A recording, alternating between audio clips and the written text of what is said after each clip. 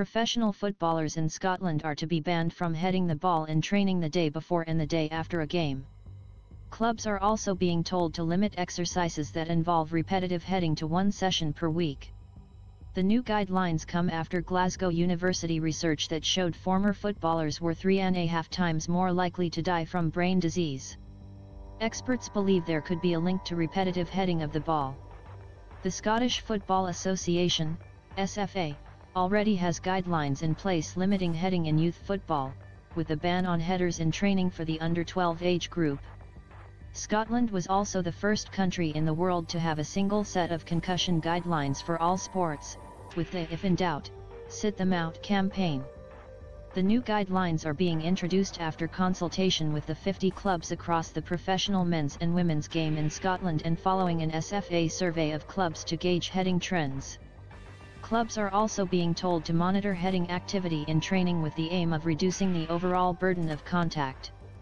Dr. John McLean has been the SFA doctor for more than 20 years and was involved in the 2019 field study that highlighted the link between dementia and former professional players.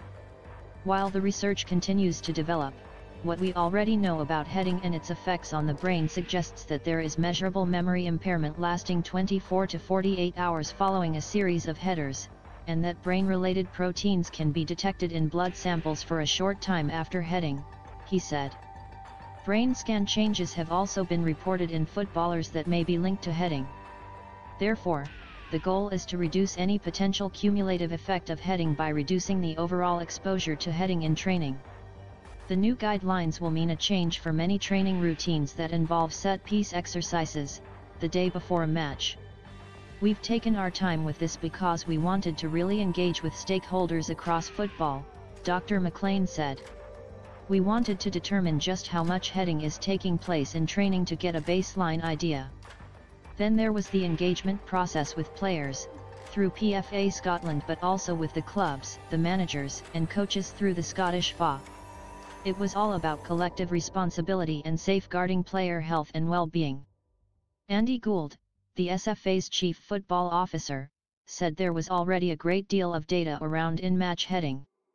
But he said the latest research had been invaluable in understanding the extent of heading load within the training environment. He added, I am grateful to the clubs, managers and players for providing us with the information and perspectives required to facilitate an informed and data-driven discussion which has culminated in the publication of guidelines designed to protect the safety and well-being of our players. Earlier this year, the FA in England introduced guidelines for clubs that limits players to 10 high-impact headers per week, during training. A number of high-profile former footballers have died from dementia in recent years, including the former Celtic captain Billy McNeill and former England World Cup winner and Republic of Ireland manager Jack Charlton.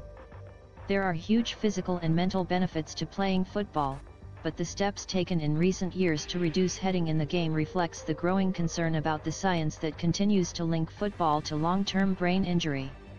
The limited pushback from Scottish clubs, on new guidelines that could drastically change the way players train and managers coach, also shows the message is getting through.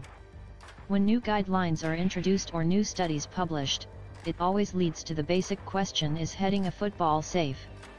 The science shows what is happening to former professionals, but so far can't determine why. The latest data shows the risk is greater with defenders, who statistically head more often. For all of those reasons, the experts are taking no chances. It could take decades for new measures to provide the data that will lead to a definitive answer and science is not willing to wait. The evolution of style and tactics has meant fewer headers in the game anyway, but if the changes continue, Due to mounting scientific evidence and pressure, it isn't difficult to imagine a game of the future without them.